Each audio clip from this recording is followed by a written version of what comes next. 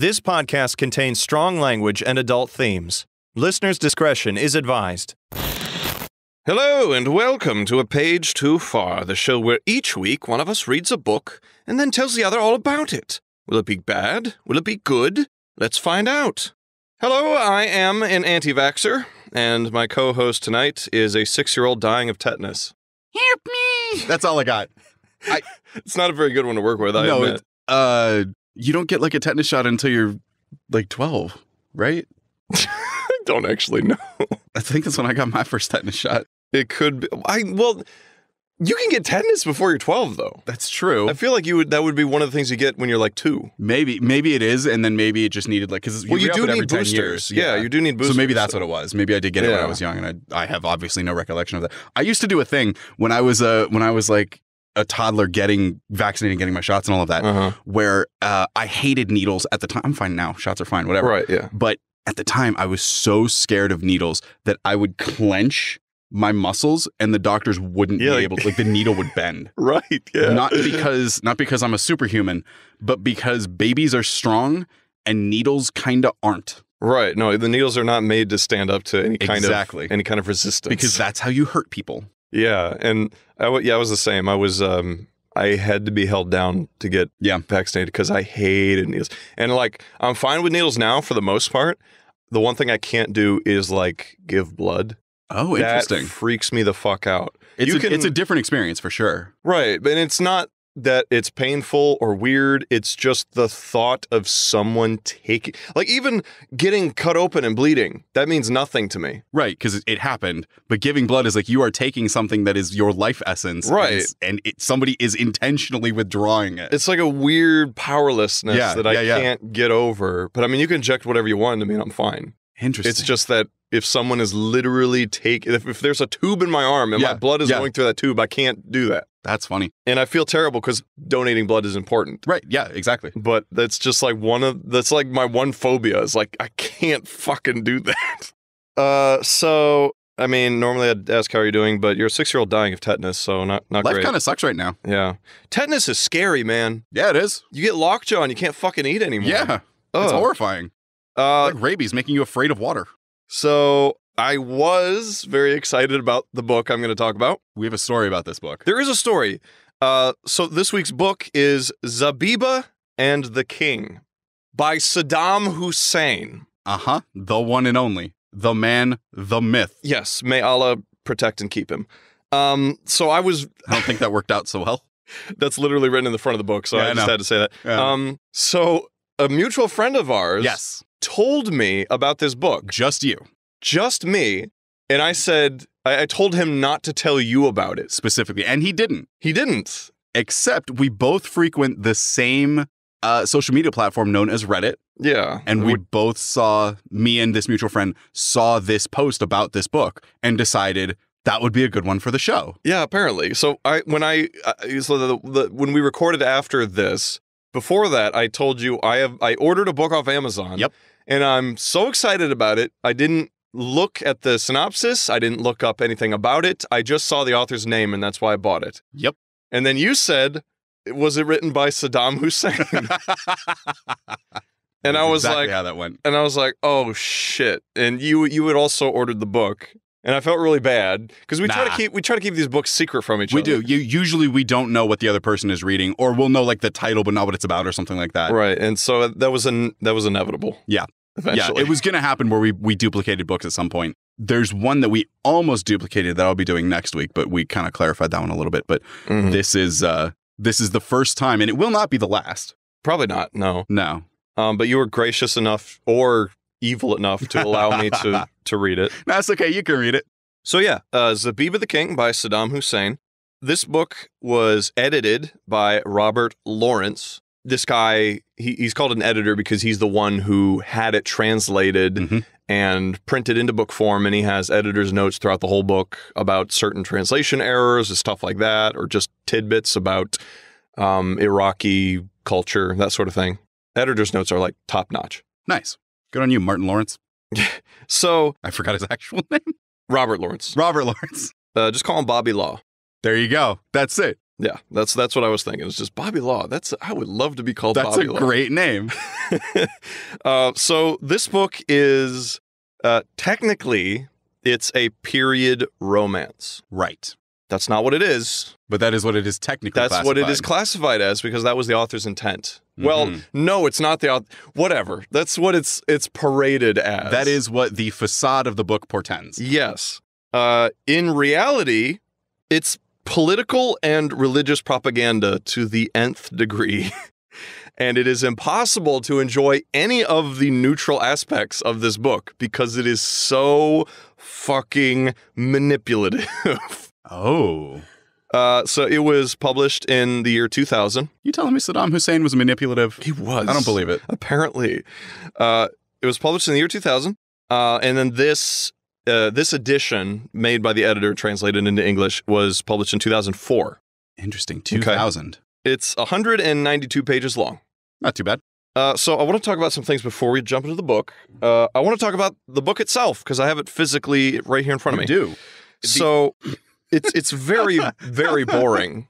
It is it is just a red background with a portrait of Saddam Hussein on a white like uh white headshot kind of. Yeah, yeah. It's like uh, it, it's it's like a fucking Looney Tune. He's just looking through a round porthole with an abyss behind him. And I can't t- it does you're right it does look like except it's a white abyss instead of a, like the black abyss. Right. But I can't decide if that's an actual picture that is just poorly printed or if it is a painting because it looks like it could be either one. Oh no, it's definitely a picture. it is? Okay. Yes. Okay. Uh, I think this was toward the end of his life. Makes sense. Um, I mean it was 2000, right?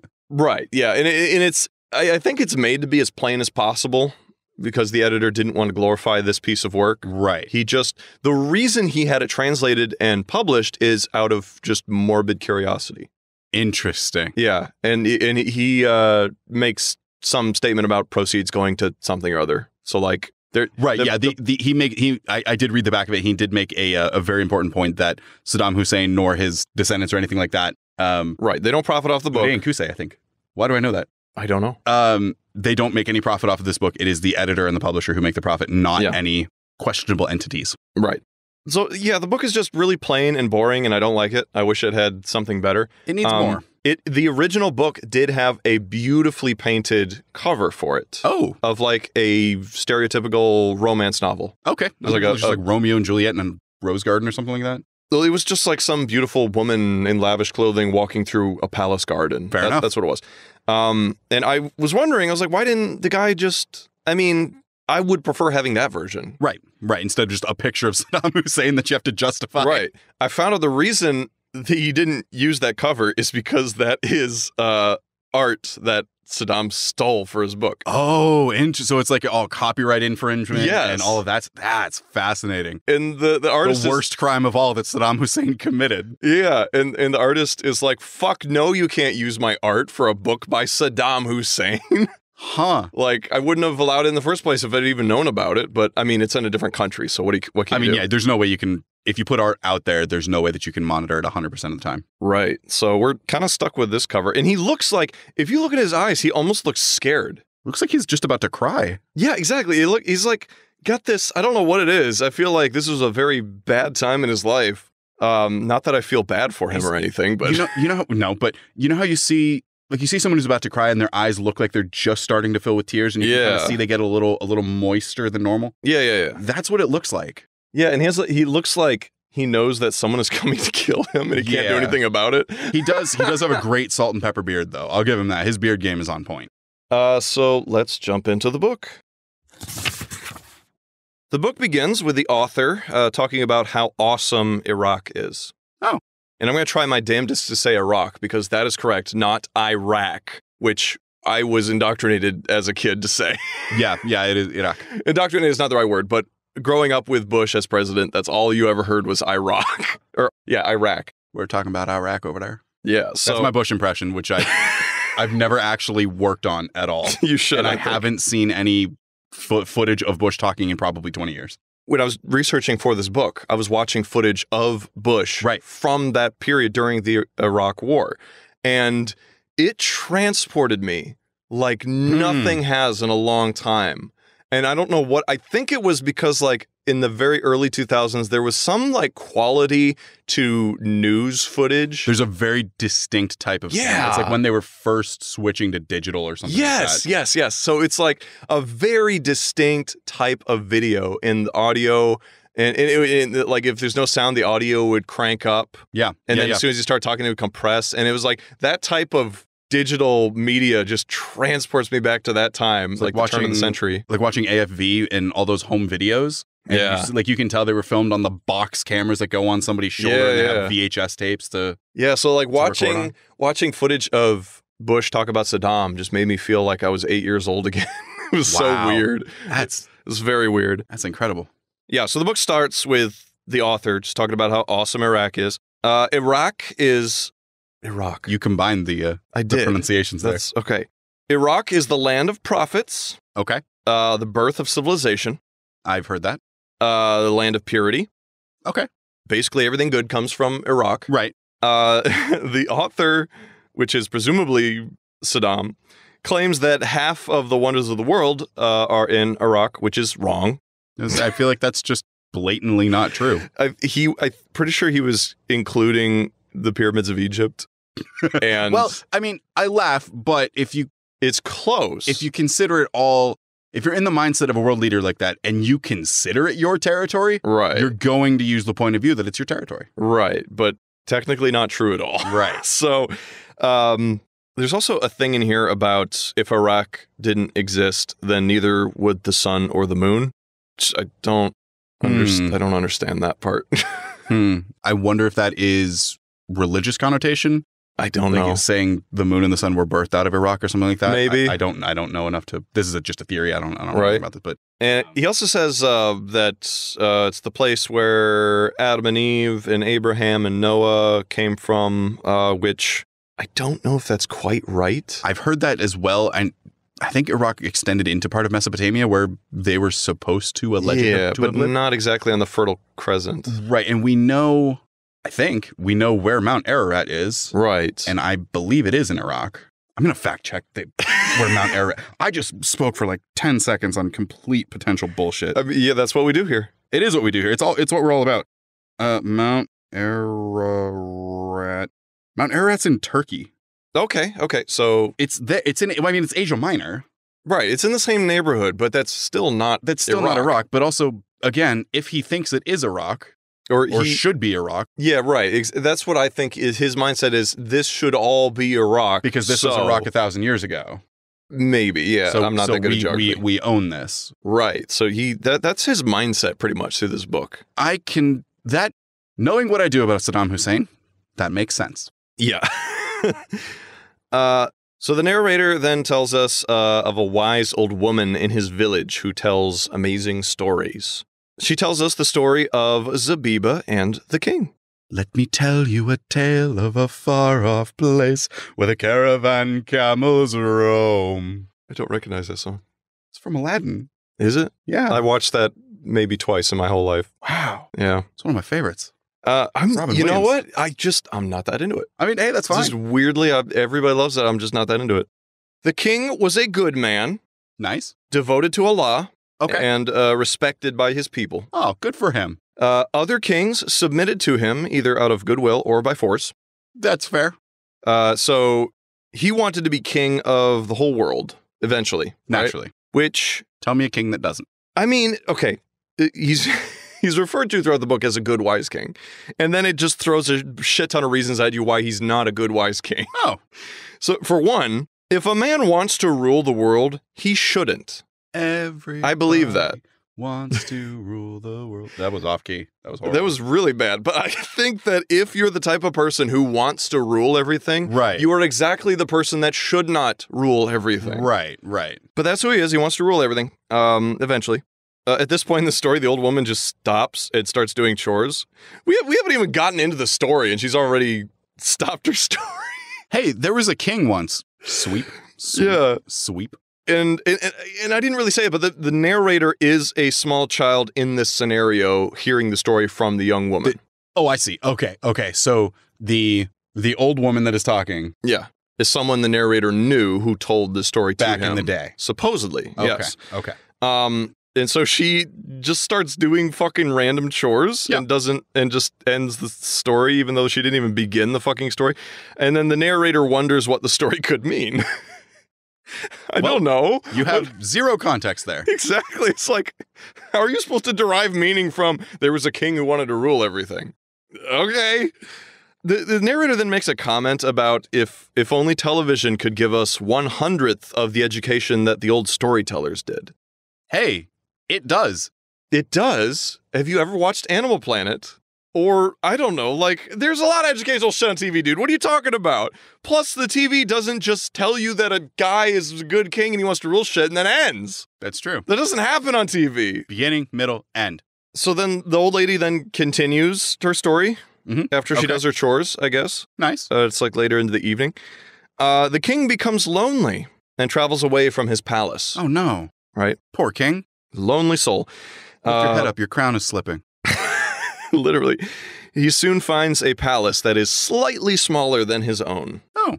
Uh, and it's owned by a rich merchant. He's compensating for something. The merchant's name is Hiskill. I have heard that name before. It's either Hiskill or Haskell because it's spelled differently depending on who you talk to. The old woman uh, stops her storytelling again to complain about how much rich people suck. She cannot stay on topic here. That's true, but I can get behind that. I mean, I get her. I totally get yeah, that. That's that's one that I'm like, okay, old lady, you're on something here. Uh, she then reminisces about being married to her cousin Well, and you lost me. until the narrator asks her to return to the story. so in this piece of fiction, the narrator is talking to somebody and he has to get them back on Yes. yes. He's like, could you just please tell the story? Come That's on. Incredible. Uh, the king does not talk to Hiskill, but instead goes to a small shack near the fence on the outer edge of the property, right? Okay. Uh, out of the hut, I said shack and then changed it to hut. Yeah. It's a fucking hut, whatever. Uh, out of the little hut comes a beautiful woman. Oh. Her name is Zabiba, and next to her is standing an old man. The inside of the hut was very clean and orderly. Oh, nice. Uh, Zabiba spoke to the king with dignity and respect. Wow. Her words calmed his lonely soul. The king visits her many times more until she is then visiting him at the palace. Oh man. Um, serious, huh? by the way, they're both married. Oh, The king has wives and a queen, and Well- Zabiba has a husband. the king makes sense that he has wives because that was totally a thing. Right. Probably still is. I hate it. I do too.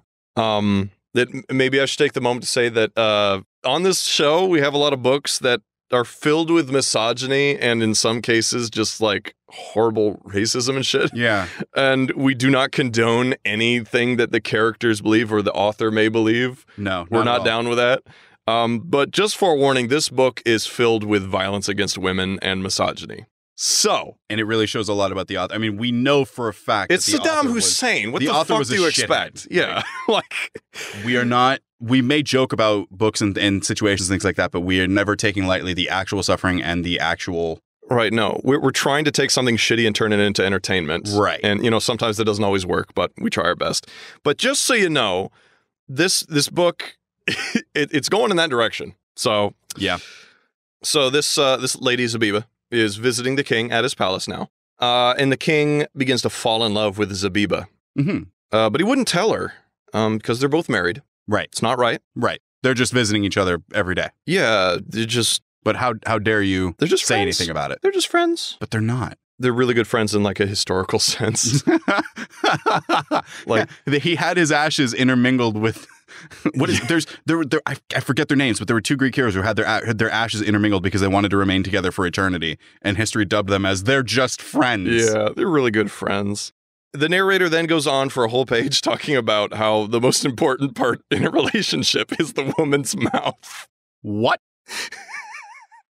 Is is this that she must speak honestly and keep secrets? Th- yes, this is more about the way she speaks to her husband Okay. and the way she speaks about her husband. Right. Because both are very good indicators. But I am not down with this part of the book at all because he is literally putting all the responsibility of the relationship on the woman. Right. Yeah. The husband can do whatever he wants as long as Yes. the wife backs him up. Yes, that's exactly that, that's the whole culture throughout this whole book. Right. is that it's it's it's on women. Like if like adultery is super super bad and is Yeah. harshly punished. Yeah.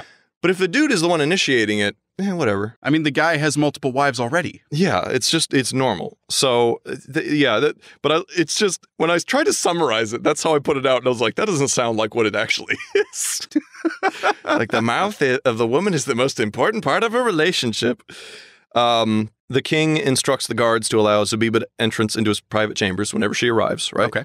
He makes them wear their fancy uniforms whenever she comes around, Yes, got to put out the fine china. uh, and then he tells them to open the gate both doors simultaneously so that neither door moves faster than the other. Insecure much? I mean, I just have them do that anyway because that just looks cool.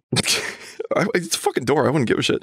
No, Um, when you when you open into like a throne room, you know, you know the scene in the movie where the hero like bursts in Right. the throne room and both room both doors open at the same time. I guess It'd it be would lame look- if it was just one. It would be weird if one was just a little slower. Yeah, Yeah, that would be weird. I get it. but I would make it a permanent thing, not just for her.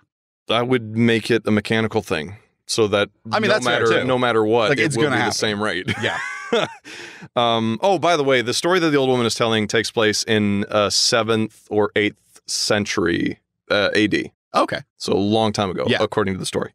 One of the guards uh, says he wants to eat raisins.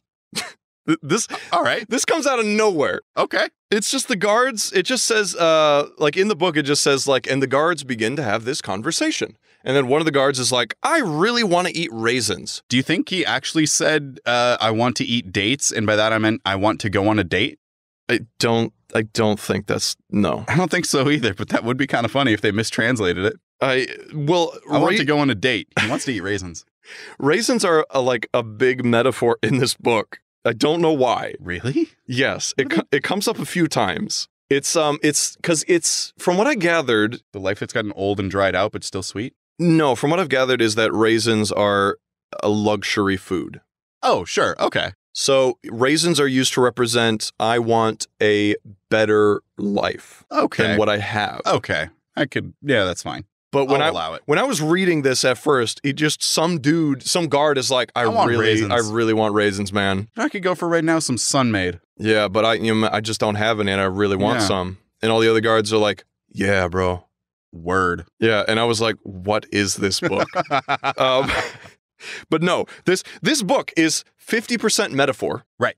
Forty percent of like philosophizing about Islamic theologies and just Okay. ra- just random shit, and then it's seven percent rape, and then three percent actual storytelling. I don't like that seven percent. No, I'm sorry, it's it's gonna happen. Yeah. So yeah, one of the guards is talking about he wants to eat raisins, and uh, and the other guards kind of turn this innocuous comment, seemingly innocuous comment. Yeah. I now understand the metaphor. When I wrote Right, these notes, right. I didn't, but they turn it into like a philosophical debate Okay. about the merits of being rich and living in luxury and all Different stations, shit. that kind of yeah. thing. That every conversation turns into a philosophical debate in this book. Hey, you know who debates on whether being rich is a good thing or not? Who? People who aren't rich. It's true because rich people love it. Yeah. What do you think about being rich? Do you think it's a good thing or a bad thing? Uh, I think it's a thing. I think you're right. Uh, Zabiba arrives at the palace. Okay. Uh, and the guards almost shoot her. Um, That's the opposite. with the, the bows and arrows. Well, they don't know who she is. So he's like, hey, if this girl shows up, let her in. And they're like, Well, he wasn't very specific. He just "That's said, this girl. Yeah, he was like, like- a, a woman named Zabiba will be my guest and she will arrive. And they're expecting a carriage with an armed escort because those are the only types of people that come to the palace. I see. So she just rocking up on her own. yeah. Oh, It's just some common woman just walking through the gates and they're like gotcha. ready to kill her. It's like anti Aladdin. Yeah. So, um, so yeah, she just comes rocking up to the gate, uh, pretty ballsy, and she introduces herself, and they're like, "Oh, you're the guest. We didn't expect you to just be a person, a commoner walking alone." which I can understand. And then she she explains to them that her name means raisin, Hey, I'm Zabiba. My name means raisin. and you, you're not gonna make friends that way, honestly. No, no, no. hey, I'm Zabiba. My name means everything that you want for and, and hope for in life. Uh, and she explains that she was named that because her mother uh really wanted to eat raisins, but she couldn't have any raisins. Her mother really wanted a better life, but she couldn't have a better life. I essentially. I But get it. uh, and then she says something about she couldn't have any raisins, so she named me Raisin so that she could have at least one. So while she's talking to the guards, the captain of the guard comes up Yes. and they explain, "Oh, this is Zabiba, the, the you know king's guest." And the captain of the guard is of the same mind of she can't be because she's alone. Right. She doesn't have any horses no with her or anything. Um, and so it takes some convincing from Zabiba that she is, in fact, the king's guest, right? And that's not something you could just go like, "Hey, that girl that you said, uh, we think she's here. We're not sure. Do you want to check her out?" It was he. Yeah, he does that. He, I think he he leaves, and Zabiba thinks that he goes to talk to the king Hmm. and then come back for like confirmation or whatever. Gotcha. Once before the king, Zabiba bows to him, and he gives her a hug, calling her dear, Oh, uh, which is significant to her. She's like, "Oh Yeah. my god, he's calling me dear." Oh, calling me dear. He's the king. Yeah. Uh, the king uh, tells her that the merchant who owned the land that she lived on uh, was banished for selling fake honey. Ooh, you don't do that. I don't know how you sell fake honey. How do you f- fake? I don't know. I don't know if there's a translation thing, but it literally says he was selling the best honey in the land, and then it turned out he was a fraud. Maybe it just wasn't the best honey. Is that like when you go to a coffee shop that says like best coffee world's in the best world? cup of coffee. yeah, and then they're just not. So the you next one them. right next door says world's best cup of coffee. Yeah, like I want to see one that says world's second best cup because at least they're honest. uh, so he, he gets banished for selling fake honey. All right. and his land is taken by the the state. Oh, of Right. course. Yeah. Oh, that. Hmm. Hmm. Hmm. No, that's a good thing. Give the guy the authority to banish someone and then seize his property. It's a good thing though, because all the workers get to stay there and live and work for the state. instead of for the merchant. right. Is the state Um, better than the merchant? In this book, yes. In this book, yes. uh, so they talk at length about politics. Naturally. it, there's so much politics between Zabiba and the king. Mm-hmm. It is nauseating the amount of talk about politics. Uh, and Zabiba tells the king that he must play a bigger role in social reform.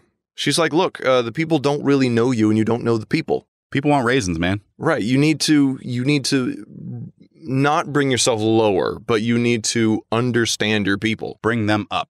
Yeah, exactly. That's that's that, she's all about social reform, right? Interesting. That's her uh, that's her her her flag is social reform. Okay. Uh, the king tells her that he is too busy. Well, it was, yeah. Yeah. I mean, he's not too busy to see a married woman like every day. No. no, just too busy to actually reform and maybe better your people and you Yep. know do good things for them. But he's a good, wise king. Well, is he? no, he's not. This old woman seems to think so. the narrator, the uh, the narrator's narrator. he's an unreliable narrator. I'm telling you right now. Oh yeah. Well, and unreliable author. Yes, just everything about this is unreliable.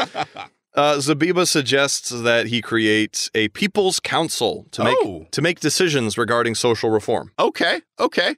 Hey, you suck at this. Maybe you should appoint some people to do it. Right. And they end their discussion and they begin uh, walking around the corridors. Huh. Which isn't they didn't really end their discussion. They just moved it to walking around the corridors. I showed you my corridor. Please respond. No, it's it's very much understood in this book that he can do whatever he wants to her or with her. He he just has to say so. But Right. because he's a good wise king, he doesn't. He doesn't make her do anything. Well, you know the the mark of a good man is somebody who uh, doesn't intentionally force himself upon someone, even though he could. Right. Even though in the book he fucking reminds her of that every now and then. What? Like, you know I'm the king and I can do whatever the fuck I want. Good wise king. All right. So they're walking around the corridors, and then Zabiba makes a comment about how the place is really dark and dingy and just like a shitty palace. Okay. Uh, and she tells the king that he needs to uh, get out of the house more often. I feel so called out. Right. Yeah, exactly. Because he, he's to her, he's obviously depressed and lonely. Right. Um, because he just sits in his palace all day. Well, he is and depressed he's and lonely. yeah, he's sick of it.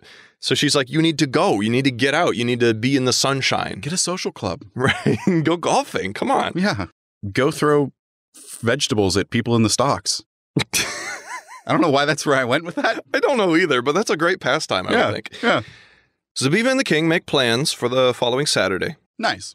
Um, and it's they do a whole thing where he's like, uh, so you like coming back Friday? And she's like, ah, Friday's not good for me. How about Saturday? So I got like a, a, a thing on I Friday. got a, I got a thing. It's Yeah. girls' night. It's girls' night. I think it's literally the the the day of worship, Friday Is Friday. or Saturday. Oh yeah. and she's a devout uh, Muslim, so she says I can't do that. And he, was testing her. he respects her, uh, and he's the king isn't Muslim, by the way. Oh. He uh, worships. I, I don't remember what it was. It was basically the old gods. Huh. right? It's just like these old pagan idols or whatever is what he does. Interesting. Yep. Is that a thing about Saddam Hussein? No, I don't think so. Was I mean he was Muslim, right? Maybe Yeah, he wasn't. I'm pretty. was. I think so. I I was going to do a shit ton of research for this, but after reading the book, I was like, "Fuck this book! I'm going to do the minimal amount." Maybe so maybe I'm he not, was repressed. Maybe he was Muslim, but he didn't want to be. maybe I'm I'm not exactly sure, but um, that that's the way the king is. Interesting. As a parting gift, uh, the king gives her a horse and uh, a bag of gold. Ooh. Yep. And she has this whole thing in her brain where she's like, you know, that's generous of the king. And then she thinks and she's like, well, that's not really generosity because he's not sacrificing anything meaningful. Right. That's true. Arabian horses were very, very well. I, I'm going to say, I think that's still, Yeah. it's generous as long as there's no ulterior motive. Right. It's generous as long as this is a hey, this is a parting gift. Right. But I mean, obviously he has ulterior. Well, of motive, course he does. Like, mm, fuck him. That's the boner. Yeah. So, um, and she was walking from her home to the palace, but now the king is like, well, Right here, have a horse. have a horse Next so time you- you come back. Yeah, and then she was like, I don't know how I'm going to take care of it. And then he's like, well, have a bag of gold too. And I don't have a way uh, to care for this horse. Now you do. and she's like, uh, I'm pretty sure horses don't eat gold. And he's like, oh, if I was him, I would respond with, "Okay, dumbass." when she returns to the palace for the next meeting the following Saturday, Yeah. uh, she sees many women in lavish dresses. dre- dresses. Women in lavish dresses. Bunch of women in lavish dresses in the courtyard. Huge. And among them is the queen. The queen. The queen. Wow. Uh, the queen approaches Zabiba and is uh, rather rude to her. I can get. Yeah, that makes sense. She's very belittling, saying, uh, "Look what the cat dragged in." Because you know Saddam. I mean, the king didn't shut up about her. Uh, probably not. Yeah. He's like, "Hey, wife, check out my new girlfriend," which is horrible. Um, so, hey, powerless wife, check out my powerless new girlfriend because I said so. so the queen is just being really harsh on her. Yeah. understandably. The queen believes that Zabiba is trying to steal the king from her. Yes. I don't know why, but you know. Um. Yes. yes. Um, so the queen tell you know the queen is like they're going back and forth. They're having a bit of a, a heated Ooh. uh, discussion here, and the queen says that uh, the king should make her a priority. The queen Okay. Do we, over over some common woman. do we get the queen's name? Is it metaphorical at all? She does not have a name. Most of the characters in the book do not have a name. I think there's like four named characters. That makes sense. Yeah so she's like, you know, the, the king should make me a priority, not some common woman. Right. Again. Again, right? I, can- yeah. I can get behind that. I mean, not queen aside, wife. Right. Exactly. Wife should take priority. ¿Por qué no las dos? Zabiba kind of shoots back uh, and says, maybe the king got bored of you. Ooh, maybe if you gave him that more than on his birthday, he'd be fine. Which that's a horrible sentiment. it's a horrible thing to say. And I, I, bored of you. but I did put in parentheses, puts on sunglasses. Deal with it. Yeah. Wow. Like maybe the king got bored of you. It's very men writing women. yes. And her saying this kind of elevates this discussion Yes. into a, almost a screaming match. because she's the damn queen. Right. You don't talk that way to the fucking queen. Yeah. Um, I'm very surprised she wasn't just fucking executed. Same. It would make the book shorter. Yeah, uh, mercifully so. As their conversation becomes more heated, Zabiba explains to the queen that uh, she doesn't know the king like Zabiba does, which is, again, very ballsy thing to say to the queen. Ballsy, blatant, and Probably, wrong. Yeah, probably not true. How long has she been queen? And Zabiba's met him what thrice? Yeah, like the queen has been married to the king for years. Yeah. Let me tell you, if you're married to somebody for years, even if you're just in the same building as them for years, you know them. Right. And she says that while the queen is in his bed, Zabiba is in his heart. That's a good line. At the end of their encounter, uh, Zabiba begins laughing at the queen because at this point the queen is hysterical and just screaming at her, and Zabiba's laughing because she's lost her composure. She Yeah, doesn't she- seem very. She won. She, she didn't win. She's just a. she's she's just a horrible woman. Yes. she's a home wrecker. Well, no, she won in her mind. I mean, Yes, uh, and it, so this this is literally what the book says. Zabiba begins laughing at the queen. Okay.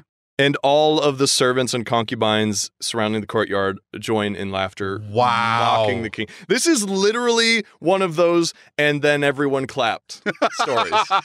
it is. It is. Oh my gosh. Just completely plays out as some fantasy of her owning the queen. The queen has nothing to respond with, and everybody supports her. so she said this, and I said, deal with it. Yeah, You don't love your husband. And then everyone looked at me, laughed, and I was given five dollars. Yeah, and everybody was like, "You go, girl." Uh, it, that's exactly what this is. It just it made me fucking sick. Wow. Um, so Zabiba after this just goes to the king's chambers, uh, and at this point they are Me on my way to fuck yo king. uh, at this point they're like openly professing their love for each other. oh well, This moved fast. she she did completely wreck his her her only competition in a rap battle. yes. I I really want to see that played out as a rap battle. That'd I- be awesome. It would be entertaining. So the king uh, starts telling her about his upbringing. Oh, Uh, his parents were cousins. Everyone's a fucking married to their cousin. it's true, but also right now we have a story being narrated by a guy who was a kid when he heard this story from a woman who was a kid when she realized the story, Mhm. who was talking about a man who is now a kid. It's Inception, bro. It goes deep. uh, I think the the editor even makes a note like that. Oh, He's really? Like it's it's unbelievable how deep these stories go. It just That's like funny. keeps keeps going. So his parents were cousins. Uh, after he was born, his mother was no longer able to conceive. oh, And because of this, his father became very anxious about his line, right? I mean, yeah, that kind of makes sense. The the the old king was very faithful to his queen and had no concubines, but since she couldn't conceive anymore, they decide they decided jointly that he should have concubines. Okay. Because she wants to be supportive. Right. She wants to support him. She can't fulfill at this time her one role. Her quote unquote duty. right. Uh, and so she she picks a wife for him. Because she's like, I want to support you. I'm gonna pick the wife. And she picks like some ugly woman. Honestly, if I were the wife looking for a new girl for my husband, I would do the same thing. Right. Because you best believe I'm the best damn thing in your world. So she's she's not that good looking. She's not very well educated or anything like that. Sure. And then so he starts having kids by her. Those are the perfect genes to run a kingdom. Right. And so and so they're like, okay, this is a good situation. We got a, a baby making wife here, which Yeah. is which is making babies. You got your baby making wife making babies and your actual wife making actual wife. Yeah, exactly. So they're they're kind of happy here. But the king kind of likes having another wife. And uh, he's there's getting some more concubines with, without consulting his wife. Uh-huh. Uh, there's trouble in paradise. Yeah. Paradise? the closest thing approximating paradise, I Okay. guess. But he still holds her as like the light of his life. Look, you're the one. I'm just going to be in this room for a few minutes. so in in all of these other concubines become very bitter and jealous towards the queen. Right. Because they're like like She's still the one. like yeah, like why? She can't give him any more children. Why Right. why does she why does he care about her anymore? He should be focusing on us. Right. Uh which just polygamy is just a bad idea. Yeah, for It's sure. Always we're not built for that. No. like it's not a good idea. I don't know that it has ever worked successfully. Uh, and so the king's father sends the king, who is like a young prince now, he's a kid, Okay. he Yep. sends him away to live with one of the father's cousins outside of the palace because he's afraid. They're going to take it out on the only heir that Right. is from the actual woman that I love. uh, in in somewhere in this time, the queen mother is uh, poisoned to death. Oh, And uh, and there's there's some turmoil going down in the palace For right now, sure. okay. But he's now living outside the palace and he grows up, but he's still treated like royalty, just very quietly. right. But once his father dies, he returns to claim his place as king. Right. It's me, I promise. Zabiba asks the king why, if having so many wives was a downfall for his father, would he also choose to have many wives? Valid question. Yeah, that's exactly what I was thinking. It was like, bro, you didn't learn anything from your dad. No. Uh, the king replies, I don't have that many. Bruh. Do you see the issue? The answer is Yeah. no, he doesn't. I see parallels with King Solomon. King Solomon, and also in that story, there was a lot of hints of Abraham and uh, like Isaac and Ishmael. Oh, yeah, definitely. Zabiba tells him that uh, by the people's measure, it is too many wives. Uh, and the king tells her that royalty measures things differently. My royal dick is 10 feet long. Mm-hmm. We measure things differently. These are royal feet. They're bigger. uh, Zabiba tells him that if he integrates more with the common people, that they will love him and he won't have to fear betrayal and conspiracy anymore. Same thing that we had before. Yes. But the betrayal and conspiracy didn't come from the people. It came from right. the That, concubines. that's my problem with it is that would not fix the situation at all. right. Unless she means the concubines are people, which, I mean, they are, but the people, I should say. Right. Well, but the concubines aren't even, they're not uh, considered common people because they're in the palace. Right. They're above Right. common people. So, like, the common people is not his problem. Right. And having, being friendly with common people would not fix his problem. Right. So shut, shut the fuck up, Zabiba. As time passes, the king badgers her more about leaving her husband and marrying him. Naturally. Zabiba replies, He is my husband by your own law, and I must remain faithful to him. Which, good point. I mean, yeah. She's like, It's because of the law you laid down that I cannot leave him for you. One of two things is going to happen here. What do you think is going to happen? I think it is going to either, he is either going to change the law, Right. which I don't think he will. Right. I think he is going to disappear her husband. Uh, th- that's what I thought too. Okay. So, so let's read ahead, see if our predictions are correct. yes. But they are both determined to love each other despite this obstacle. But you literally have all of the problems with him. Uh, and I got to say, it's not an obstacle, it's a fucking wall. Yeah. That's not an obstacle. Yeah. you cannot love each other if Hey, you're. if you're looking for a relationship and everything in the world is standing between you, Yeah. probably not a big, you know, not a good idea. No. Um, the king begins to notice uh, over time a change in Zabiba's mood. Ooh. He asks her what is bothering her, but she kind of dances around the subject and doesn't seem to want to talk about it. Okay. The king guesses that has something to do with her husband. Eventually, she tells him that uh, she was forced to marry her husband. It was kind of a debtor situation. Her father owed the guy oh, money, sure. Yeah. and uh, Children and are collateral. and he was her fucking cousin again. Why does every marriage have to be between cousins in this book? I don't, I don't know. They, maybe, maybe Saddam Hussein had a cousin fixation. I think he did. It even mentions in the book that that is not normal. But by every account in this book, it is very normal. normal in the book, but the book is not normal. I guess it's like this is very weird, but everybody's doing it. So Okay. it's just how it is. So she was forced to marry her husband because of the debt situation, uh, and her husband didn't really. He he just lusted after her. Um, he he didn't see her as a person. He doesn't love her. Right. He doesn't love her. He didn't treat her as a person at all, and he forced her to be intimate without her consent. Right. which again makes sense for the time. Now, now this is rape, but the book does not posture it as rape. Right. Because she being a very faithful Islamic wife would submit to her husband even though she didn't want to. Right, she had to, otherwise she would potentially Right. be killed. So, while this is rape, the book does not classify it makes a Right. distinction between rape and what she is doing, Right. which I don't agree with. No, not at all. But that is her situation. hmm She's with a husband who doesn't love her, doesn't care about her, doesn't give a shit about her, even beats her. But she was like, I have to be a faithful wife because that is what my religion demands. Right. Uh, the king is not exactly empathetic about her situation, Why don't you just join my religion? and uh, and they kind of get into an argument because she bears her heart to him. Yeah. and she's like, I'm in this horrible situation, and he's like, Okay, what does that have to do with me? Right? Good, wise king. i GWK. So they get into a fight. Yeah. understandably, because he's an asshole. well, yeah, for sure. She's in a horrible situation, and he's completely unempathetic. Yep. But during this argument, they really strive to understand one another. So it's I don't know I don't know what kind of person he is because sometimes he is just completely tone deaf, He's whatever he needs to be. right?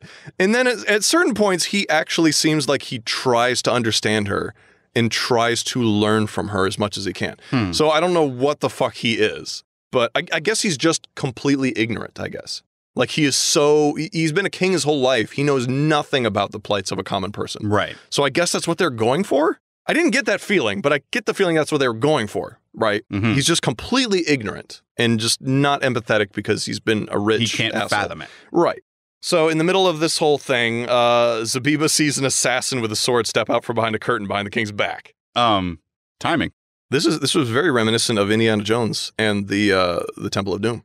Indy's in his room, and then there's a mural on the wall. But then Oh, yeah. one of the painted yeah. men is actually just a man standing there with a yeah, sword. forgot about that. It's Yeah. long, that's the movie I've seen the least of the four. Me too, but it's a great scene. I love that scene. So she sees an assassin behind his back, uh, and then Zabiba screams and then shields him with her body. So she steps in front Oh. of the king, Get down, Mr. President. and the assassin cuts her down the chest, Oh, and she falls to the floor. It then says the king kills the assassin with one strike to the head. It doesn't say he has a weapon. So I'm assuming he just punches him once and the dude is dead. I'm picturing the full. He has the fist. His arm is fully extended, and he swings it back around his back and just bops him on the top of the head. like doink.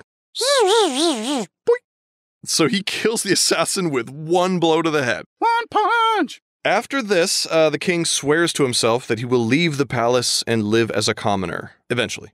Why? I, I don't know. He like he, well, the he- people are trying to kill me now. Well, he thinks that. Well, no, he thinks that uh she's dying. So I guess he's like, as a promise to you, my oh, love. right. That's right. She got. I completely will- I forgot will- that she got cut. Right, I will do what what you want me to do and integrate myself with the people Right. and give up this life of As your luxury. dying, as your dying wish, I will. Yada yada.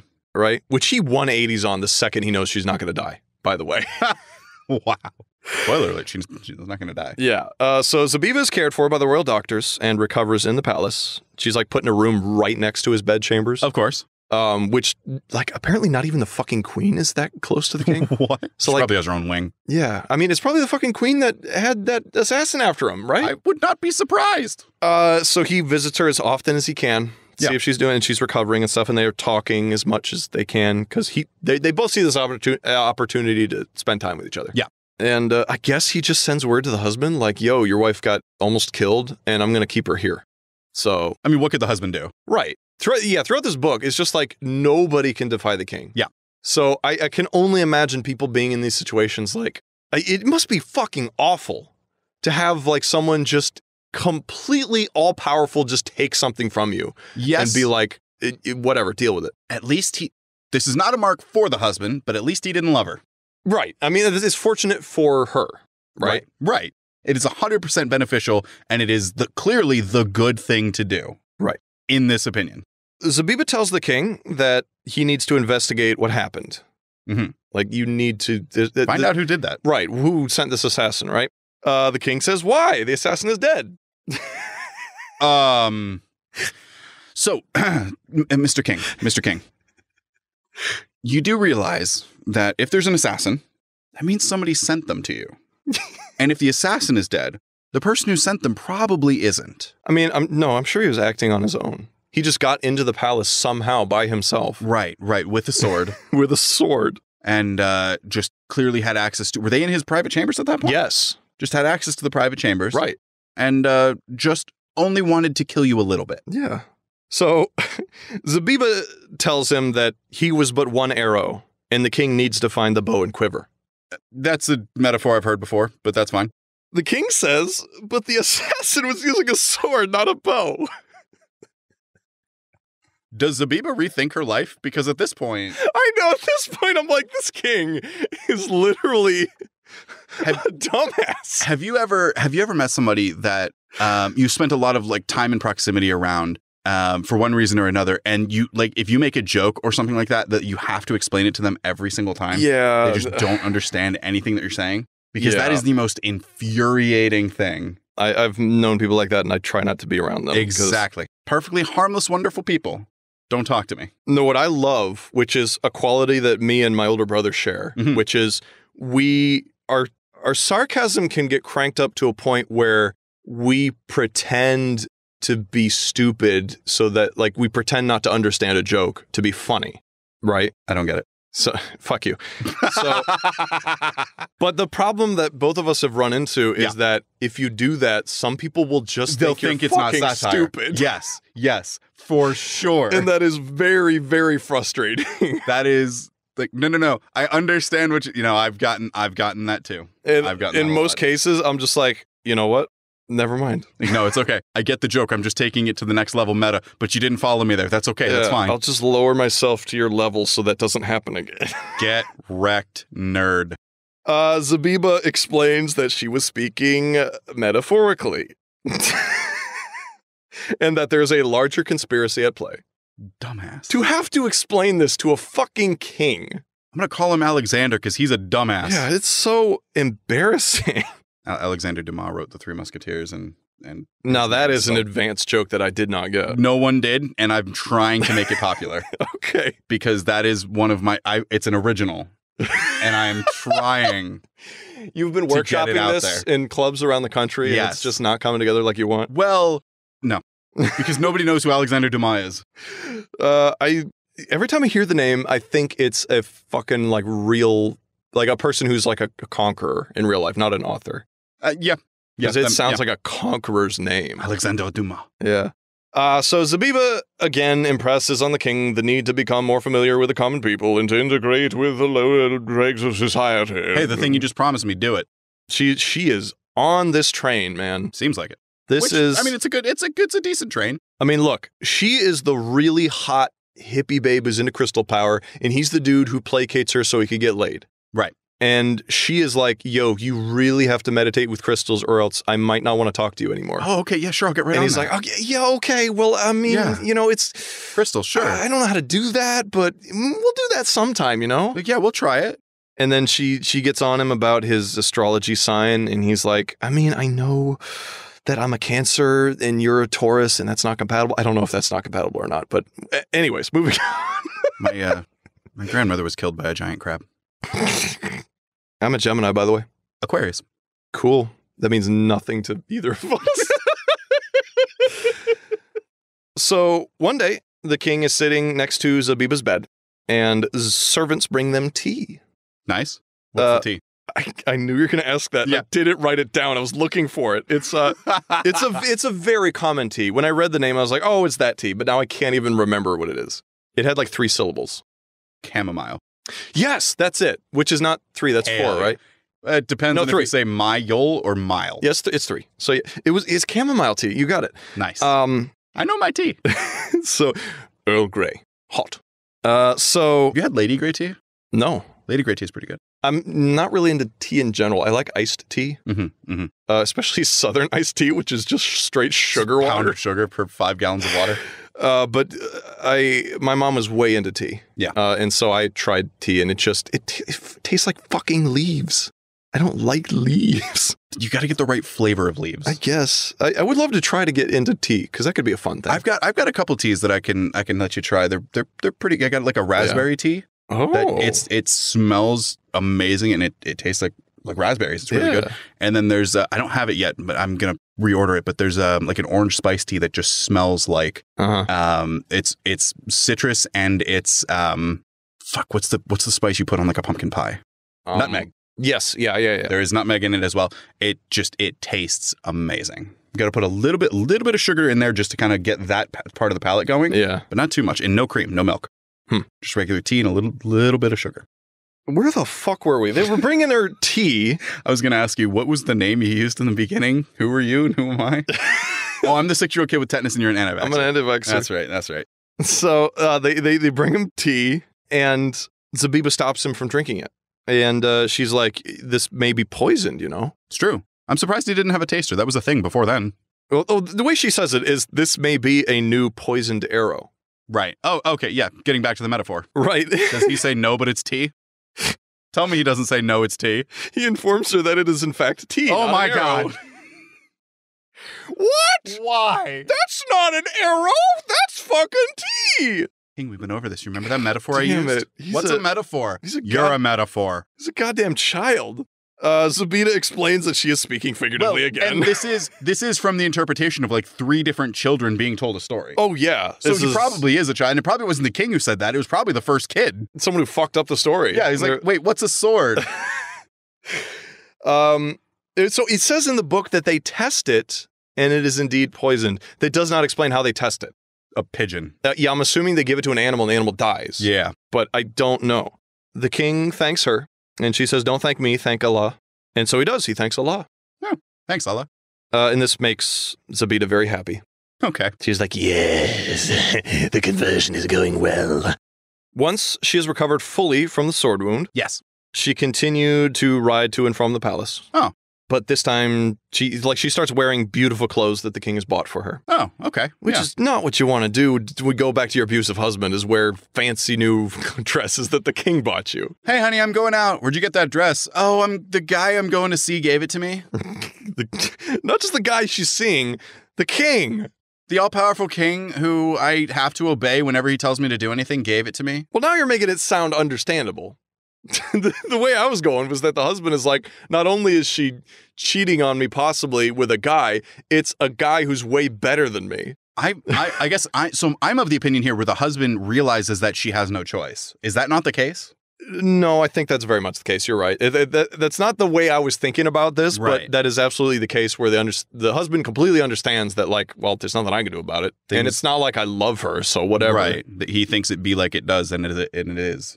But uh, I'm I'm speaking from a point of view of someone who's in love with her, right? Right. Um, Which like we, I mean, we know he's not. right, but I'm ju- I'm just assuming a husband would love her, and if someone you love is going to meet someone else who's Well, just that's because you're a good person. oh, thank you, thank you. Uh, but that that's just that was like such a wholesome, genuine, genuine moment there. I meant that. As time goes on, uh, she feels more dead inside for having to live with a husband she hates, and It's a skillet song. and him and him like forcing himself on her every Right, time. right, you know, right. she's she's just well, yeah, she found an escape now. right, but she can't have it. Right. So it's tearing her apart. Right. Lisa. yeah, I knew. I knew it was going in that direction. One time, while with the king, uh, he asks about Allah, and Oh. Zabiba essentially proselytizes to him. Sure, that's what you do in that situation. and uh, and they talk for hours about the nature of Allah and and also just the nature of like ruling. That that is a huge theme of this book. Is like Hmm. what is the nature of ruling a country and being a person in power? Because you know What does that mean? What can you do with it? Saddam Hussein. Um, I mean, you should you should rule for your people's interest and fuck the rich people, which I don't think is what Saddam ended up doing. I think he did the second just literally. And they, they also talk about like what the common people want from a king. Because Yeah. the king doesn't know. Because he has no concept of it. At this point in the book, like I I'm I'm ready to I'm ready to put the book down. This Sure. is about this is about halfway through. And it's so fucking boring. Yeah. This is one of the most boring books I've slogged through. You've slogged through some boring ones. Right. And I knew I knew there were nuggets in here. So I, Right. I pushed through it because I'm like, I know there's gonna be some crazy shit coming out of left field at any second, which does later. Nice. but but for the most part, this is one of the most fucking boring books ever. The king asks Zabiba how she became so enlightened and knowledgeable. Because whenever they talk about something, she seems to know what's up. hey, you're a woman. How do you know this? Exactly. I mean, it makes total sense. Like women were not educated, so what's up? Yeah. Uh, she begins talking about her life before meeting him. Her husband never treated her like a person, only as a means of sexual gratification. We know this. Her father felt uncomfortable with the whole situation and slept outside. so, Right, because they would they they have family homes. Stay in the same house when you're married. That's amazing. so he's like, I'm just gonna live outside. so he only comes into the house when absolutely necessary. Wow. That's incredible. He's That a he's a great dad. just leave. I mean, or don't put your daughter in that situation. Or just, But I don't know, just fucking do anything do- else. Yeah, don't just shove your head in the sand and pretend it's not happening. God. This this gets really sad. Um, Oh boy. she was once pregnant, but her husband beat her so badly that she miscarried. Oh. and since then, she has not conceived Yeah. again. And it makes it does this whole thing about how if a woman does not love the man she has sex with, then she won't conceive. But she already did once, and that's not true anyway. Yeah, that's not how that works. That's not. That's, so this whole this little portion of the book was so fucking terrible. Just Just 'cause- again, men writing women. Yeah, it's like a dude who doesn't know anything about women, doesn't give a shit about women, Yeah. writing women. It's like awful. Ah. Um, so Zabiba talks at length about the merchant Hiskill who owned the property, Right. Uh, and how horrible he was. And I'm not going to go into details because it's it's actually a little unnecessarily grisly. Right. Uh, right. He's just think of the most horrible person you can. That's him. Saddam Hussein. Yeah. it's, it's Saddam Hussein in Uh, actuality. also, I was really confused because I was looking up information about the book after I finished reading Right. it. And there was one guy who was talking about the merchant, Hiskill being her husband, but that's not true. So, like, I I read the fucking book and it it makes it treats them as two separate persons. Oh. But then I read this guy's like review of the book, and he was like, "And the merchant, Hiskill, her husband."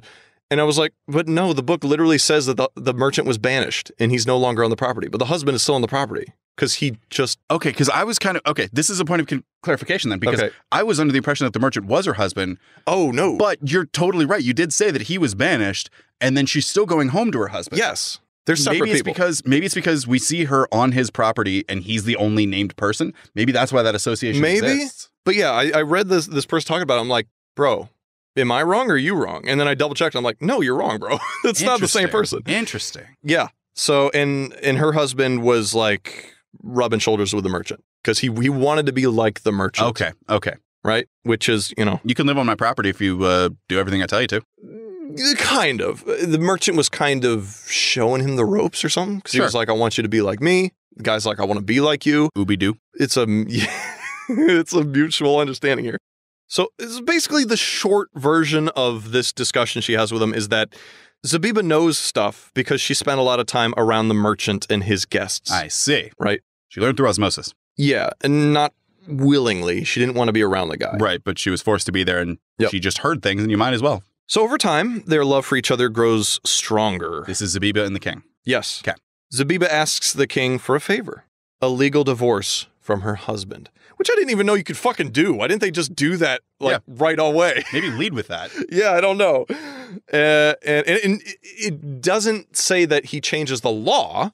It says that he allows a legal divorce. So he just nullifies the marriage. Right. And uh, again, yeah, it's like, why not just start with that? What the, why are we just now getting to that? That wasn't one of my two predictions. Uh, No, I totally didn't see that coming either because they treat it like it's not an option. Yeah. They don't even talk about it. But um, I- hmm. So he agrees.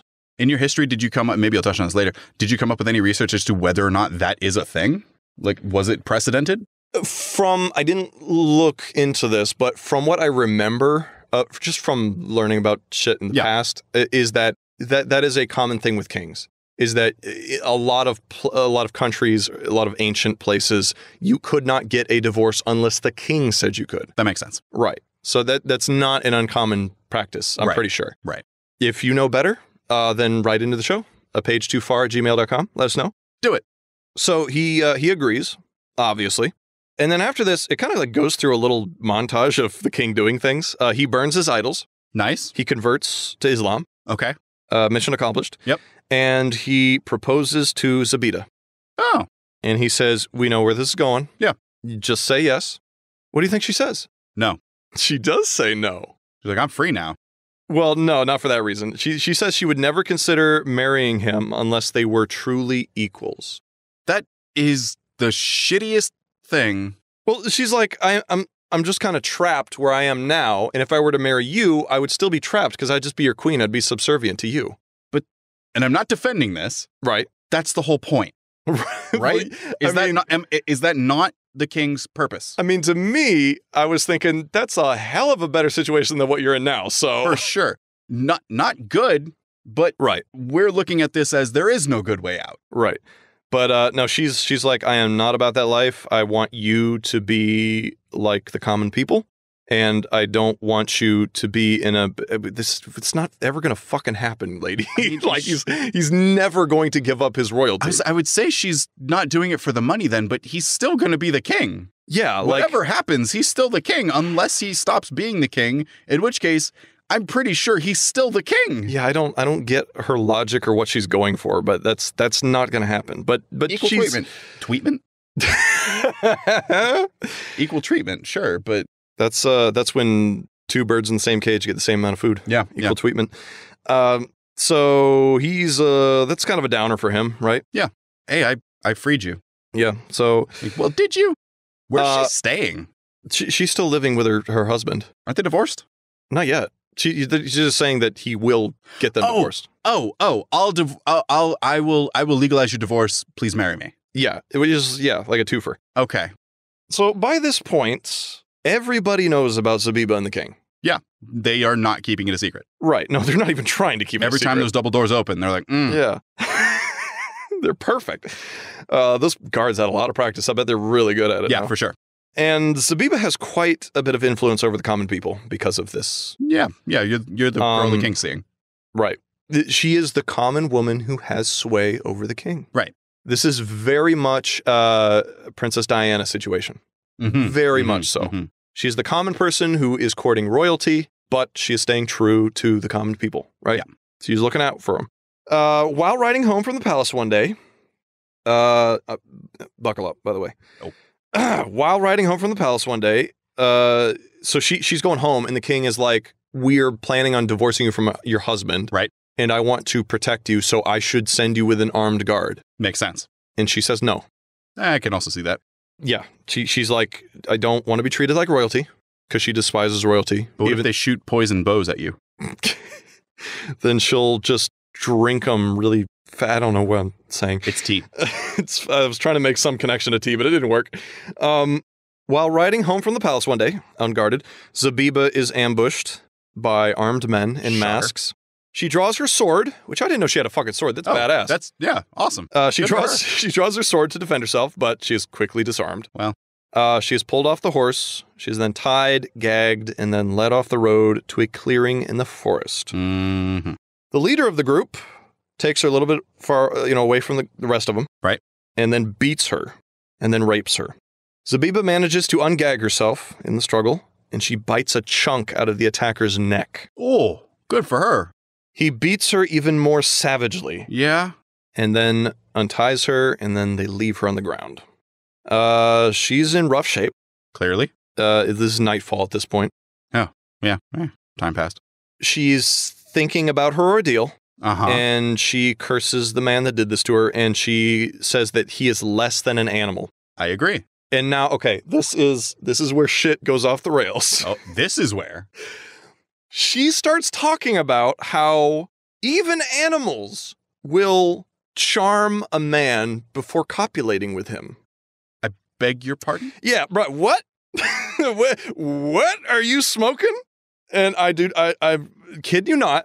She starts talking about the bears in the north who would drag men to their caves and then give them berries and cheese so as to entice them into copulation. She means big, strong, hairy gay men, right? No, she's talking about actual bears. But there's a reason for this, and I'll talk. I'll talk about it after we finish the book. Yeah, it's a metaphor. I get it. but It's I don't know another metaphor. It's it an- Russia? It's Russia. Yes, it's Russia. God damn It's- it. it's It's Russia. Why you got to bring back episode four of this show? but but literally i'm reading this and i'm like what the hell is going on Yeah. bears cannot be literally taking men to caves and seducing them Oh my God. But no it's just a it's just a metaphor for russia and it doesn't tie into her predicament at all it doesn't fucking make sense in the story if taken literally Does she, is she saying she would rather have been raped by an animal, or is it? Just no like, she's saying that even animals act with some civility and, this then man guy didn't so he's worse than. so he's worse Yeah. than an animal So, and she's making a direct comparison to bears. So she is saying this man is worse than Russia. right Wonder who the man is. and and and I do want to talk about this after the book, but it, metaphorically, she's saying that in this situation, the man that assaulted her Right. is the U.S., the United States, Right. and Russia is the bear, and so she's like, even Russia in its assaults of our motherland acted with more civility and dignity than Right. the U.S. did. Right? That's what the author Saddam Hussein is saying. For sure. Okay, right? Uh, so Zabiba plans to tell the king all about it. Um, but for now, she goes home. What? Go, um. Yep. you don't know where those men came from? Follow your own advice and maybe go back to the person who wanted to send you an armed guard. As she walks up to her, her little hut, God damn it. Go on. uh, she can see through the crack of the door and she sees her husband washing blood from his shoulders. She spits and calls him an infidel under her breath. She she literally I don't remember what the word is. I didn't write it down. It's translated as asshole. Oh. Um, Yeah, I but can find that. It literally means uh, rot. I think. Hmm. Hmm. So she Okay. calls she calls him rotten, which I think he changed to asshole because calling someone rotten is just kind of laughable in English. Right. Rotten is no longer an insult. Right. It's just like how quaint. Yeah. So she's like that fucking asshole, that that devil. She she calls him like a spawn of the devil or something like that. this is an honest question. Yep. Is what he did worse than what he does any other night? Um, no. Because, yeah, morally, I'd say no. I, I there's not really a distinction made. Like once she finds out it's him, she's like, ah, okay, I can deal with this, right? Wrong answer, but okay. I mean, that's her attitude Yeah, because she now she has to be the faithful wife because she knows who it was. Right. So God damn it. so she cusses at him and then she walks in and she just acts like she doesn't know it's him.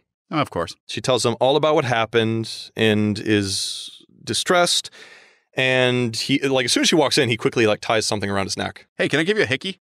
And so he is he's, he's I mean, he's not like empathizing with her or anything. Do you think anyone's ever asked, can I give you a hickey? Yes. Okay. Absolutely. Because consent is important. And hickeys are visible. You don't want to be walking around with that, right? Yeah, but I feel like, I, I- I- yeah. Also, hickeys, right. hickeys are fucking weird. Yeah, I don't get it. I don't get hickeys either. No, like hickeys like- are usually on the neck, Exactly. That's the joke. and I get kissing the neck and licking the neck. Why are you sucking on the neck? I don't, I don't know. so much so that you create a hickey. Yeah, uh, people are weird. People are weird, man. Sex is weird. It Yeah. really is. Yeah. Um. So so she starts asking him about his neck. Like, oh dear, what happened to you? Where'd you get that ascot? Yeah, what? it's lovely. That shade of red is just matches your eyes. Yeah. Um, she's trying to make him squirm Yeah. For well, yeah.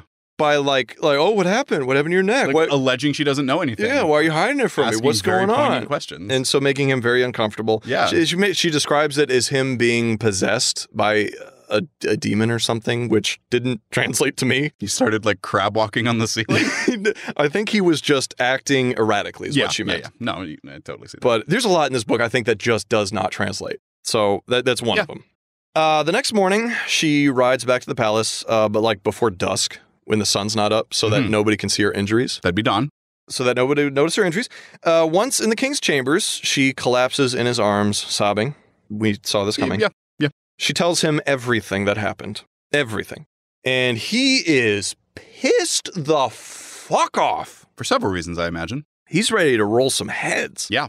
Uh, and he immediately orders his men to apprehend Zabiba's husband so that he can be brought to justice. Oh, you got a snake eyes. But Zabi, okay, th- this this book is dumb, okay? Clearly. But this part of the book just it doesn't I don't want to say it goes off the rails, but it accelerates way past any form of like plot development here. Nice. So Zabiba warns the king that if he does take her husband into custody, Yep. then the traitors conspiring against him will assault his palace with a, f- a f- armed force. At least he would know where they are and he can prepare for it. But but but this doesn't fucking track. They didn't establish there was any connection between her husband and the conspirators. Right? And they also didn't establish that she knew anything about it. Yeah, and they also didn't establish why the conspirators would give a fuck if one of their own was apprehended. And we got to get him. That's Chuck. I mean, like, just let him die. Like, why? Why are you risking your your conspiracy and just attacking Boldfaced? No, we got to go get Chuck. It's so dumb. I don't know why I named him Chuck. But this is what this is what's happening, and the king believes her 100, percent Yeah, naturally. and she's right, of course. Yeah. because why not? Um, she's, I don't know, she's an annoying character. I wouldn't say she's a Mary Sue because she doesn't seem to really attempt anything. Like, she just knows everything that she needs to know. Right. She knows what she needs to know, and she somehow just convinces the king of everything that needs to happen. Yeah. So, yeah. Uh, the king tells her that he will ready his army and his spies. Nice. Maybe should have done that before. Maybe. Uh, Zabiba says that uh, she will raise up the people so that the enemy will have nowhere to hide. Nice. Maybe should have done that before. I mean, she doesn't elaborate exactly what this means, but uh, I assume it just means that they are going to help them. Yeah. Uh, yeah. Yeah. Turn sounds like it's going to turn into a witch hunt. Right. She she does go into the city and gathers a bunch of people to help defend the palace. Solid. which they didn't these people have like little to no motivation to defend the palace But they want to guard Zabiba, and Zabiba's they awesome. they want to help her yeah but Look, Princess Diana came to you and said, "Hey, somebody's going to overthrow the king. Would you help me?" no i'd be like i'd do anything for you but not for the fucking the english royalty I would- fuck them I would say, "How are you here talking right now? Because you died like 20 years ago." so she goes out grabs a bunch of people in the city and is like yo let's go back to the crib and fuck up some some traitors Allegedly. uh, together with the king's army um, they defend the palace against the conspirators' attack. This is literally half a page. Oh. This huge battle is half a page of like, uh, and they won. Cool. Also, here's some stuff that happened during the battle. Nice. Zabiba's injured. She's hit by an arrow. Again? Well, Uh, the arrow's new. She's been beaten with fists. She's been cut with a sword. Why Uh, not add an it- arrow it's, in there? it's it's like when you're chopping wood and a, a log already has a split in it and you hit it with an axe. So she already had a cut down her chest and that arrow hit and it just split her in half. just basically. right. Uh, it- How so satisfying is that feeling though when you hit that right in the it's split? good. Yeah. I, I, the one thing I miss about living in farm country is chopping wood. Yeah. Yeah. It is so zen. It is a great workout. it is therapeutic. is very nice. I really miss doing that.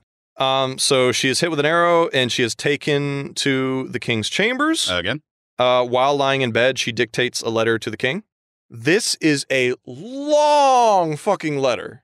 Hmm. Like she supposes that she is dying, so she is giving the king her last words. Right. But it's like four fucking pages. Good lord. And the scribe is like, bro, I'm running out of room on this legal pad. You hang on a second. like it is it is a long note. Gotta sand the ink. Uh, in the letter, she accepts his proposal of marriage, which I mean, he's still a fucking He didn't king. do anything. Uh, yeah, no, whatever. Uh, she eventually. She, wait, she said no. She walked home. She got beat up. She came back, told him everything, and then went out to find people to fight his battle. Came back, fought his battle, got injured, and now she's ready to marry him. well, she's dying, so I mean, might as well go out with a. I, I want to make you happy. I was gonna say, please don't say go out with a bang. no, fuck. I wouldn't say that. So she dies of her injuries. Oh, she does. She does. She dies. Oh wow. Uh, and the the king succeeds and brings order to his kingdom, and he fulfills her wish and creates a council of the people. Oh, he doesn't step down himself. Oh no, he's king until he dies. Yeah. and his line doesn't end. Right. but he does create a council of people to look after the social affairs and stuff. Right. Hmm. He does have like the final say in anything they do, which kind of defeats the purpose of a social defeats the purpose of a council of people. Right. Oh my god. So, uh, so like nothing changed, basically. The rest of this book is so fucking boring and pointless to me that I was like skipping pages wholesale. There's like 30 pages left in the book. Nice. But the gist of it is uh, there's a couple pages. It's like a, a chapter about Zabiba's legacy. Okay. So they make like a monument to her. They make they make a I don't know what the opposite of a monument is. It's like a bad monument to her husband that that people throw rocks at. Nice. Um, and everybody's like Zabiba is the great, and Allah is great. Um, there's a very heavy em- emphasis toward the end of the book about how awesome Allah Allah is. Sure. and uh, just really, really, really heavy religious tones. Yeah, all this good stuff happened in the book. So, Arguably, no good things happened in the book. so it's just like happily ever after, kind of, even Yeah. though virtually nothing changed. And then there's like there's a solid twenty some pages of just people talking at the council. So the council forms, people come and voice their grievances, Sure. and they work it out. nice. And so it's like a dude who's a landowner and he comes up and he's like, I am not rich, but I am not poor either. And here are my concerns. And people laugh at him. And then he counters with like a bomb ass counter argument. And none of it was interesting and none of it mattered because the story is fucking over. So who gives a shit? Right. Like, Is it is it more metaphor or is it uh, kind of. It's more like parable. Nah. Right. So it's not metaphorical because they're talking about literal struggles of the people right? that were applicable to the time the book was written, but none of the situations are real. The people aren't real, so Right, it's like a right. fucking parable. Um, and then that that's how it ends is just with these people talking to the council, and it was shit. And yeah, She was so close to being a good female lead character. kind of, She missed it by I'd say 50%. she was a very very fucking obnoxious know-it-all. On the on the attributes that describe a good female character, she was one of those. She was par. She was female. She- um, so this book, uh, you know, released 2000. Yes. It was a bestseller. Sold for 1500 dinars, uh, which is about 50 cents US. Sure. The cover art was by Jonathon Bowser, Nice. who's a Canadian artist Oh. who did not know that his art was stolen. oh, the original art, not this portrait of Saddam Hussein. yeah, not the portrait. The original cover art Okay, was, was yeah. just wholesale ripped from his, his Wow. gallery, uh, which is hilarious. Like, why can't you just fucking buy some art for it? Why Like, would he? He's king. I guess he just doesn't give a shit. Yeah, I do what I want. Um. So the one of the very disappointing things about this book is that so the the CIA analyzed this book when it came out. Oh yeah, for sure. They dissected the shit out of this book, and according to them, it is very likely, it is very probable that it was not written by Saddam Hussein. Interesting. He definitely supervised the writing of this book, but there was a lot of information about him hiring ghostwriters to write a bunch of different books. But this was the only one that he himself put his name on. Sure, sure. So there are a lot of other propaganda books of the same flavor out there, but they have the actual authors' names on them. Right. But this one, there's a whole insert at the beginning of the book of the author. It was the author saying that I wanted to put Saddam's name on this because he's cool and I like him and I don't want to take credit for this, even though I wrote it. it's, yeah, it's weird. So allegedly, Saddam hired this guy to write this book, and this guy then said, "I don't want to take credit for this. Saddam Hussein wrote this." The, his name is, I'm going to say this wrong. I apologize. Najib Kujur. Sure. It, it literally says uh, this brilliant idea inspired uh, Najib Gujar, one of the honorable sons of Iraq, and as a result came into the existence this novel, and yet the reader holding his hands right now. And then it just says like I want I wanted to put Saddam's name on it because I, Hmm. lo- I love him. So yeah, that was very disappointing when I learned that it is not actually written by Saddam, even though I'm sure Saddam had an outline and he's like, I want the book to have this. And I'm sure he says he wrote it. Yes, and uh, he advertises it as written by him. Probably also like read read to and approved by him. Yes, absolutely. This book had glowing reviews in Iraq when it came out. I wonder why. I wonder why. Um, there, I think there was literally one critic who said it was entirely boring and incomprehensible. Okay. I'm with him. I don't know what happened to him. I assume he just disappeared. Probably. Uh, but that's that is exactly the words that I would describe this book is like Boring and boring incomprehensible. and incomprehensible. So let's look at some of the metaphors and parallels Yes. to real life scenarios. So in 1991, Mhm. uh, it was during this time uh, that the Iraqi forces were invading Kuwait. Okay. And several nations, including the US, moved forces into Kuwait to push Iraq back, Right. right? This was Operation Desert Storm. Right. The parallel here is the abusive husband. Zabiba's husband is the United States, Mhm. And his act of raping her out in the forest is Desert Storm. Okay. Okay. Because Iraq and Kuwait had a good relationship. I'm assuming Kuwait is the woman. No, the the the Zabiba represents the Iraqi people. Okay. Okay. Okay. Yep. Took it the other step. Yeah. So um, Kuwait doesn't really figure in here. They're the don't think. forest. Um, they're the forest. uh, so yeah, and, and uh, of course the king is Hussein. Of course. Obviously, Right. Um, he considers himself a wise and good ruler, even though you can see his twisted, fucked up morality in this book Yes. and his way of thinking. Um, the bears who drag people to their caves and seduce them. that is Russia, which you Yeah. correctly guessed. I was I was impressed. I, to be fair, I did know that this was an allegorical and or metaphorical and or parabolic tale going into it. Right. So I was looking for it the whole time, and there's a bear is only one thing. And there are other parallels that are not so obvious. I think there was a parallel between the queen and one of Saddam's like compatriots or something who Mhm, felt mhm. jealous or something. There, there- there's a lot of those, but um, th- those are the main ones that people point out is like uh, Desert Storm and all that shit.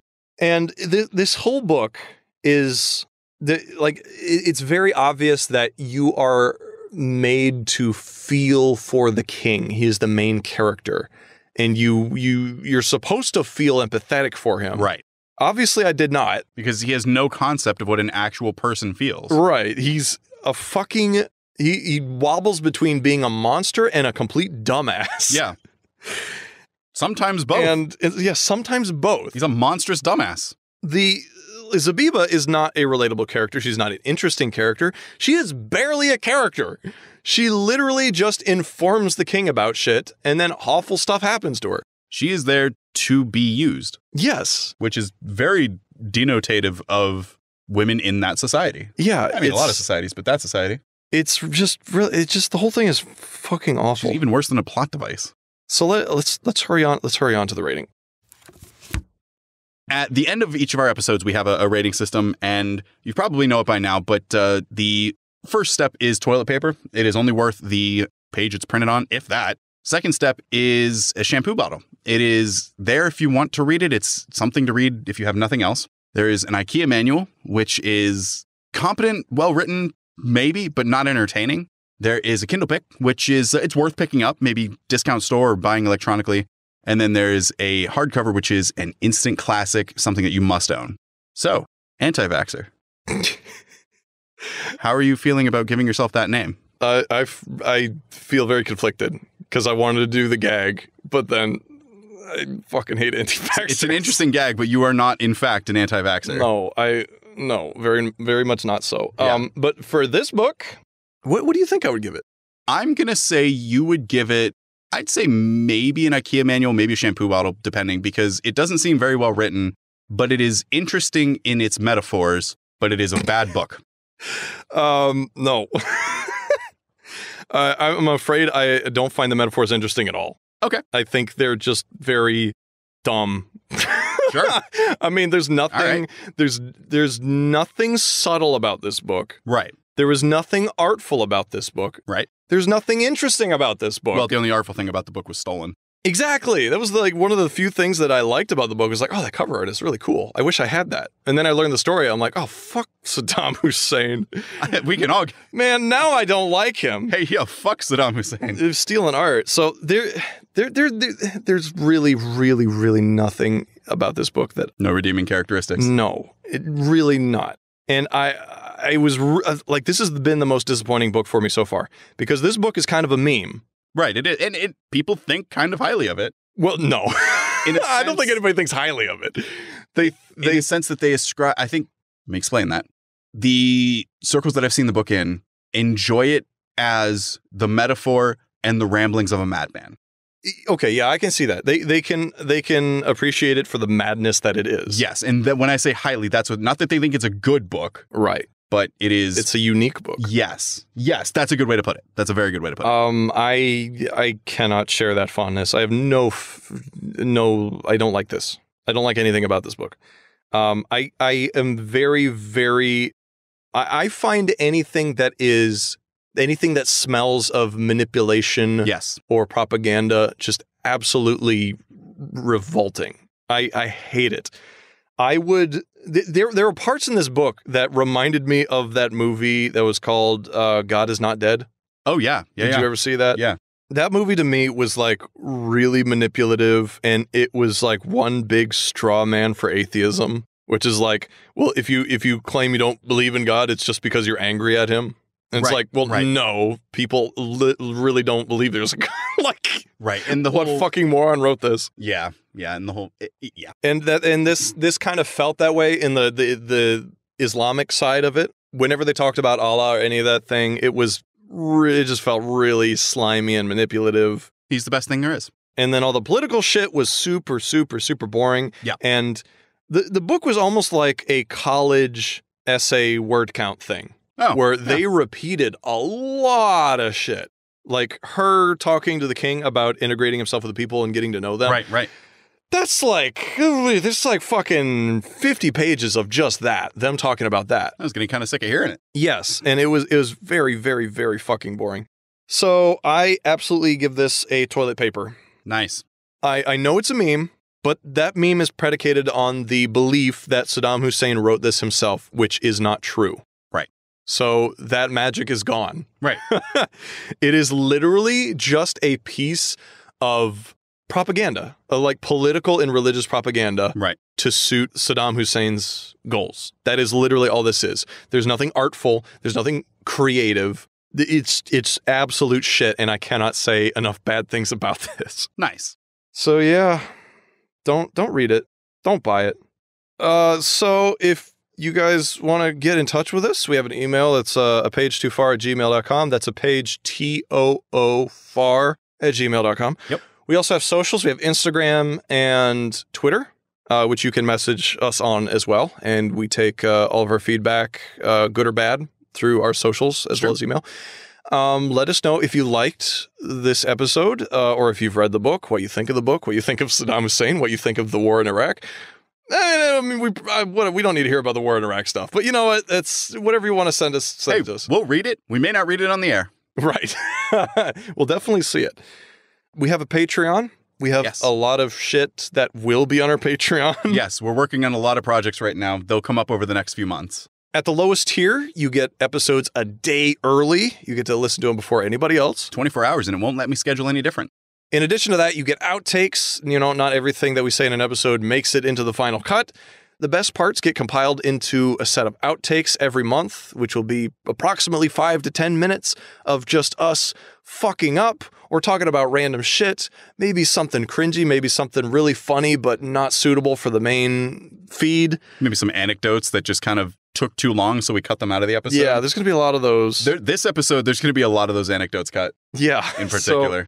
The next tier up, you get a bonus episode every month. We do Mhm. one additional episode that's extra long, extra juicy, has less cut out of it. Uh, and we're we're less cautious because it's on the Patreon, so we don't have to worry so much about uh, offending casual listeners or not getting into the nitty gritty of things. Right? They're very different. We we very much nitpick these yes. these extra these extra bonus episodes. They are fantastic. They're so much fun to do, but they're just too long to do for like normal content. right. They're kind of exhausting. They are exhausting. They're absolutely exhausting. I mean, you get a three hour episode. That means we recorded for four hours yeah. at least. Not to mention the time editing. Yeah, for every hour, for every produced hour of this podcast, it takes me five to six hours of editing. Yes. That is not a joke. No, and that is why I love you wholeheartedly.